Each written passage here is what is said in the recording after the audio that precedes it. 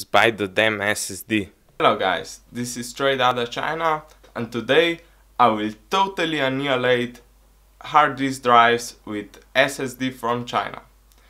I see some people are still not willing to spend a couple of dollars when they are building their PC for an SSD and that, that is just not right.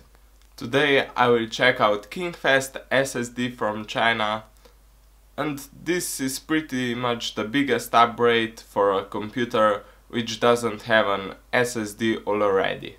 Now I will show you what I'm talking about.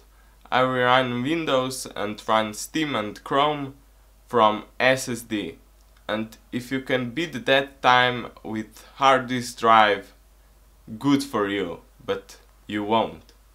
I also ran some synthetic benchmarks to see where this SSD sits. So I tested 3 SSD and a conventional hard disk drive. So here are some graphs from synthetic benchmarks and mind that in that our Kingfast SSD is running on SATA 2 interface. Here on the top right you can see how much this hard disk drive gets annihilated by every other SSD.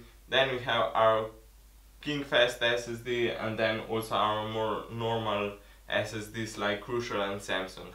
So this Kingfast is not very fast but it still totally destroys our normal hard disk drive. Even if you don't have a big bucks to spend, you can buy this SSD for around $25 from China and this is pretty much the biggest speed and power improvements that can happen to your PC. Also, if you're upgrading a laptop and you throw your old hard disk drive out, you might also see uh, small battery life improvements. I hope I changed your mind about using hard disk drives for boot drives and as always have a great day.